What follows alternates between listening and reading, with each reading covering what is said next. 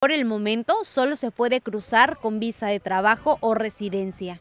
Pero a pesar de eso se pueden observar a muchas personas haciendo fila en el cruce peatonal, sin contar que no cuentan con las medidas de higiene y seguridad requeridas, muchas sin cubrebocas y sin guardar la sana distancia.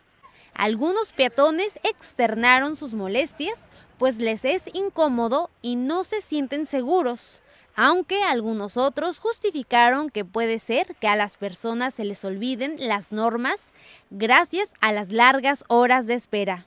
Pues no, de hecho no hay ninguna seguridad, no la tenemos aquí, no hay la cultura y aparte pues la verdad, si te das cuenta, tenemos haces filas dos, dos horas, dos horas y media, si bien te va, si no es que poquito más, ¿no? Ahorita pues el, la careta, porque la verdad honestamente ya el cubrebocas, o sea, sí es importante también, pero la careta ya es que andas todo el día en el sol, te estás aquí dos horas y media con el, con el tapabocas y honestamente sí, pues es muy incómodo, ¿no? yo pienso que pues igual a lo mejor es inconscientemente un poquito, ¿no? De que pues todos queremos cruzar y, de repente se nos olvida, pues, pero pues es un poquito inconscientemente de que se nos olvida, pues más que nada, más que, de, más que por la distancia.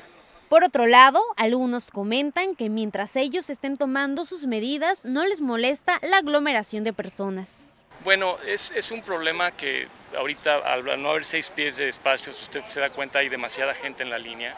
Eh, va a ser un poco difícil que haya ese, ese distanciamiento, ¿verdad? Pero eh, quiero pensar que eh, por lo que he escuchado de científicos y gente que tienen opiniones de este tipo de problema, estamos más seguros en la calle que en nuestras casas. Un tema importante de destacar es que la mayor preocupación por parte de las personas que cruzan es que terceros se aprovechen.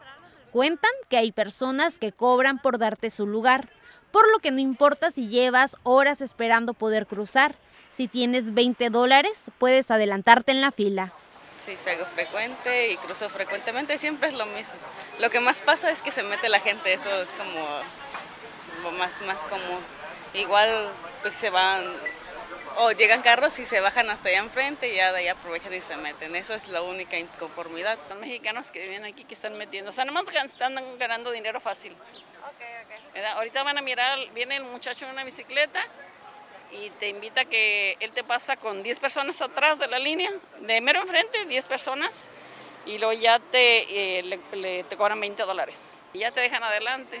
¿A usted le, le propusieron hacer eso? Ahorita nos acaban de proponer. Se les hace un llamado a la comunidad para que continúen respetando las medidas de seguridad e higiene y a las autoridades se les exhorta a hacer una investigación sobre las denuncias ciudadanas para tener un mayor control y seguridad en las garitas. Con imágenes y edición de Roberto Delgado, informó para el imparcial Ashley García.